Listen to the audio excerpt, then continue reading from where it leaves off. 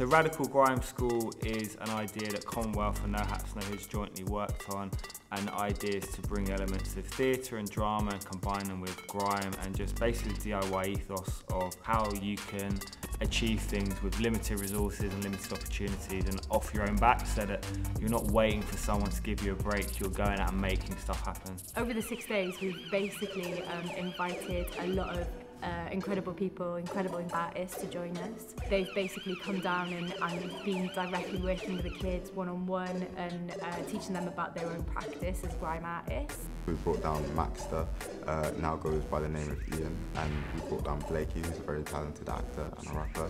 Uh, and we've worked with the record label to provide this opportunity.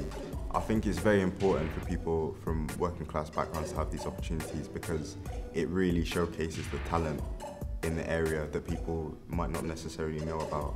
A lot of what this has been about has been about authenticity and being yourself. Um, so like telling their own stories, but being being truthful, being authentic, having like that integrity. People that have come to this really love grime music and through that, using that as a vehicle, we've been able to access loads of different things with them. Acting, singing, rapping in a space over six days as a catalyst to create something which has led us to making a short performance that we shared today, which I think is really important for young people to be able to be honest and vulnerable and open about their lived experience.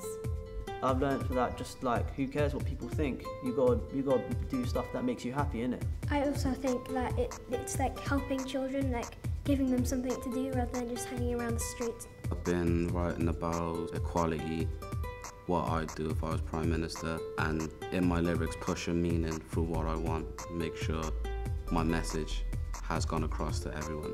People who I've never even met before encouraging me to do big things like that is just mad. One of the best things I've done in my life is coming here. We've had a concept, we've created it together, and we've gone through a process where we plan things out and then we devise some sort of performance and we come together at the end and perform it. And just going through that process alone, I feel like it's very important and it gives them an opportunity to see how things are made, how things are structured, and hopefully, no matter what they're doing creatively, they know what process to follow and they have the confidence to do that. And there's nothing to stop them. The world is their oyster. It's not just we did a six-day workshop that we did it and then nothing's happening. Like off the back of this, there's three or four young people that are releasing music, that are going to do music videos, so it's been nice to see that progression route really. So the future of Radical Grime School is we're hoping to to build on it. We've already built on it. We've done like a one day one, we've done a six day one, and we want to build it bigger in the future. So I think if you're interested in grime, if your kids are interested in grime and performing and politics, then stay connected to Common Wealth Theatre, commonwealththeatre.co.uk, and we'll have something coming soon. Select,